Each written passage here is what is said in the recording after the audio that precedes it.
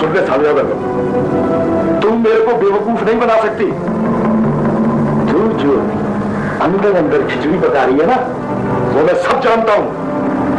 क्या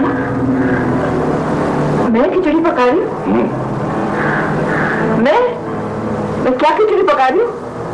बोल खुल के बोल ना क्या पका रही मैं? बस। मेरा मुँह ना खुलवा। कौन खोल के सुन ले।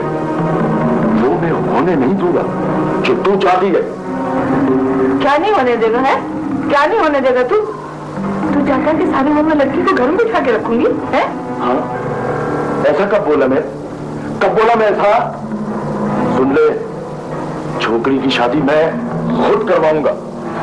रहने दे रहने दे। मैं अच्छी तरह जानती हूँ तू क्या करेगा। क्या जानती है क्या जानती है तू? वो? वो? वो छचोरा अल्लाह का वास्ता। अल्लाह का वास्ता तो माँ बेटी पे रहम कर हमें अपने हाल पे छोड़ दे। हमें अपने हाल पे छोड़ दे खुदा के लिए। अच्छा। ले छोड़िए कर ले अपनी मनमानी। कर ले अपनी मनमानी। मैं भी देखता हूँ छोकरी कैसे बाहर जाती है। कुछ तो खुदा का खौफ कर। क्यों यतीम बच्चे का सब समेटेगा?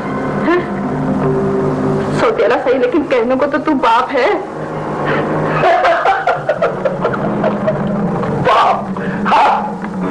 बाप भी कहती है, और मर्ज़ी भी अपनी चलाती।